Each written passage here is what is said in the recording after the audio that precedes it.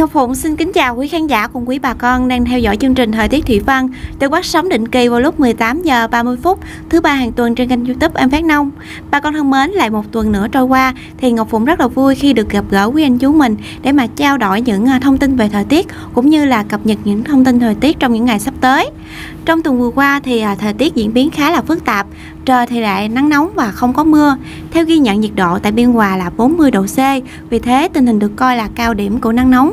Vậy thời tiết trong những ngày tới từ ngày 17 tháng 4 đến ngày 23 tháng 4 2024 sẽ có những điểm gì mới? Thì xin mời quý anh chú mình cùng lắng nghe phần chia sẻ của thạc sĩ Huỳnh Thị Ngọc Điệp đến từ Đài khí tượng thủy văn Nam Bộ. Vâng, Ngọc Phụng xin trân trọng kính chào cô ạ. À.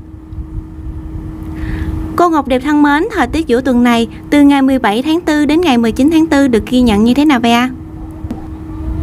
Hiện nay thì cái rãnh thấp có trục ở vào khoảng là từ 24 đến 26 độ vĩ Bắc, nối với vùng áp thấp nóng ở phía Tây mở rộng về phía Đông. Do đó mà những cái ngày giữa tuần từ thứ tư đến thứ năm, tức là ngày 17 và ngày 18 tây tháng 4 thì cái rãnh thấp nối với vùng áp thấp nóng ở phía Tây sẽ tiếp tục mở rộng và phát triển về phía Đông Nam. Tuy nhiên thì có cái xu hướng hơi dịch về phía Nam bởi bộ phận áp cao lạnh từ phía Bắc. Cái bộ phận áp cao lạnh này thì có cái cường độ không mạnh và đồng thời thì trên cao lại có những cái nhiễu động hình thành trên cái khu vực ở phía Nam do đó mà cái khu vực Nam Bộ thì thời tiết sẽ khá là ổn định. Mây thay đổi, ban ngày thì là trời nắng nóng vẫn còn tiếp diễn.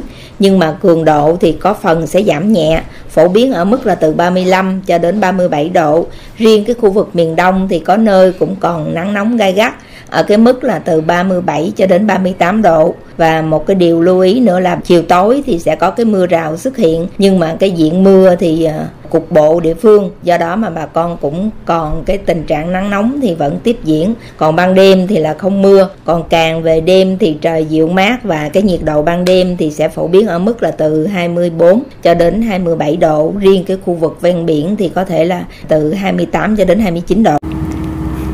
Dạ vâng, như vậy thời tiết giữa tuần này thì nắng nóng vẫn còn diễn ra nhưng mà ở khu vực Nam Bộ thì có phần giảm nhẹ hơn so với những ngày trước. Nhiệt độ về đêm thì giảm xuống nên là sẽ dịu mát và thoải mái hơn ban ngày.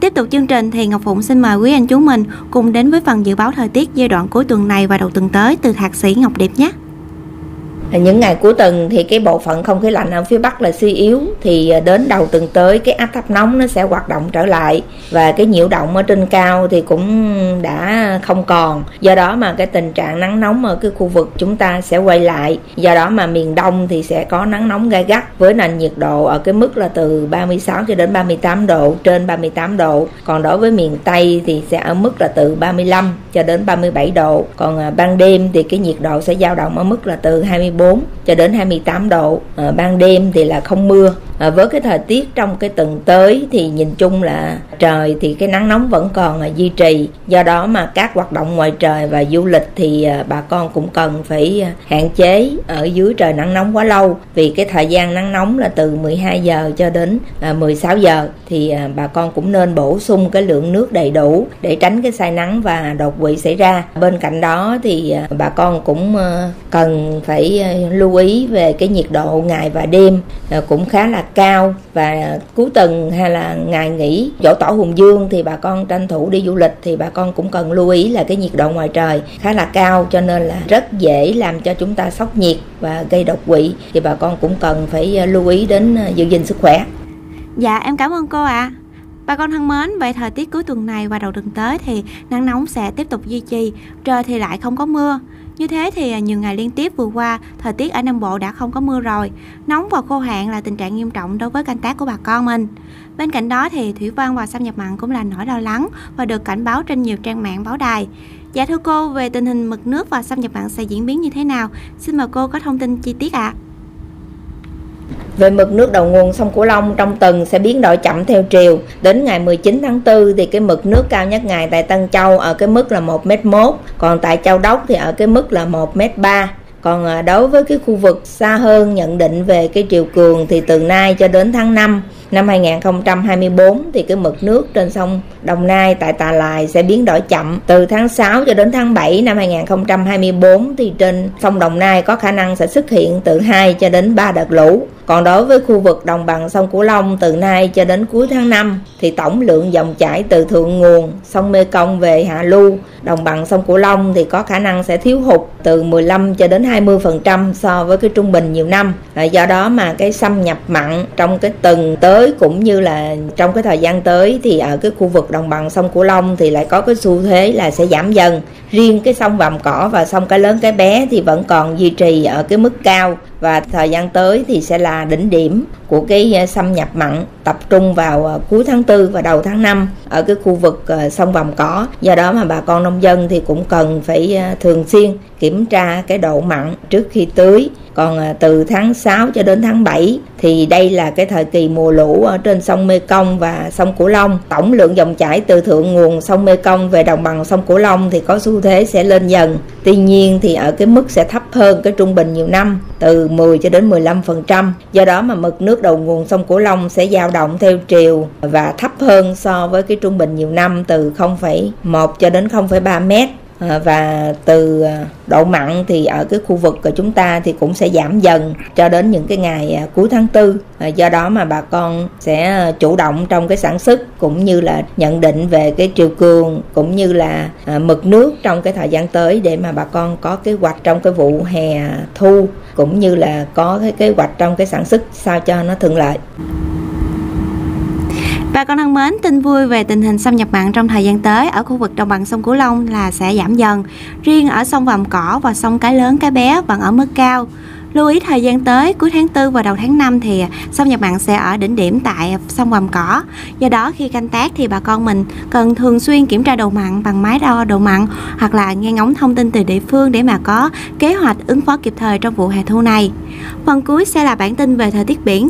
Xin mời cô Ngọc Điệp chia sẻ đến quý nhà nông mình ạ. À. Thời tiết trong vùng này thì nhìn chung ngoài khơi ở phía nam thì có mưa vài nơi. Vùng biển từ Vũng Tàu đến Cà Mau thì cái gió đông nam ở mức là cấp 3, độ cao sóng thì từ nửa mét cho đến một mét rưỡi. Còn đối với vùng biển từ Cà Mau, Kiên Giang và Vịnh Thái Lan thì gió nhẹ, độ cao sóng là từ 0,25 cho đến 1 mét. Với cái cấp gió và độ cao sóng thì à, không mạnh, khá thuận lợi cho các bà con ngư dân ra khơi cũng như là các cái phương tiện tàu thuyền hoạt động ở cái khu vực à, vùng biển ở phía nam. Kính chào bà con nông dân và các bạn nghe đài. Vâng, cảm ơn cô Ngọc Thiệp rất nhiều vì đã dành thời gian gửi đến chương trình những thông tin về thời tiết giúp cho quý anh quý chú canh tác thuận lợi hơn. Thay mặt cho quý nhà nông thì Ngọc Phụng xin chúc cô có một kỳ nghỉ dỗ tổ thật là vui vẻ và hạnh phúc bên gia đình. Bà con thân mến, vậy thời tiết giữa tuần này thì à, nắng nóng sẽ có xu hướng giảm dần, nhưng đến cuối tuần và đầu tuần tới thì nhiệt độ lại tăng cao.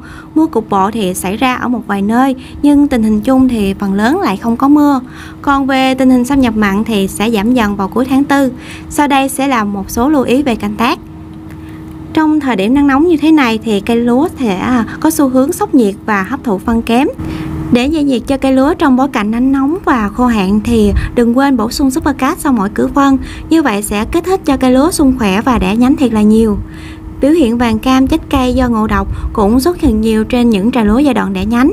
Vì thế mà khi phát hiện thì bà con mình có thể thay mới nước ruộng nhiều lần hoặc là kết hợp giải độc bằng humic phun vít trong đất. Bên trên thì phun giải độc bằng chất điều hòa sinh trưởng racinolai có trong Supercat kết hợp với lân hữu hiệu hai chiều trong Ariron 620 để mà phục hồi nhanh ruộng lúa nhé. Hiện tại các trà lúa hè thu muộn thì đã bắt đầu gieo xạ. Tuy nhiên, với những dự báo ngày hôm nay thì chắc chắn sẽ gây khó khăn khi hạt lúa vừa rớt xuống đồng. Với những phương pháp gieo xạ cũng như là ngâm ủ giống để mà hạn chế chết nóng mà non thì đã được An Phát Nông mình truyền tải trên kênh. Bà con mình có thể vào kênh để tham khảo nhé. Chương trình đến đây đã khép lại. Cảm ơn bà con mình đã quan tâm, theo dõi và hẹn gặp lại bà con mình trong chương trình kỳ tới. Ngọc Phụng và đội ngũ 30 tập xin trân trọng kính chào.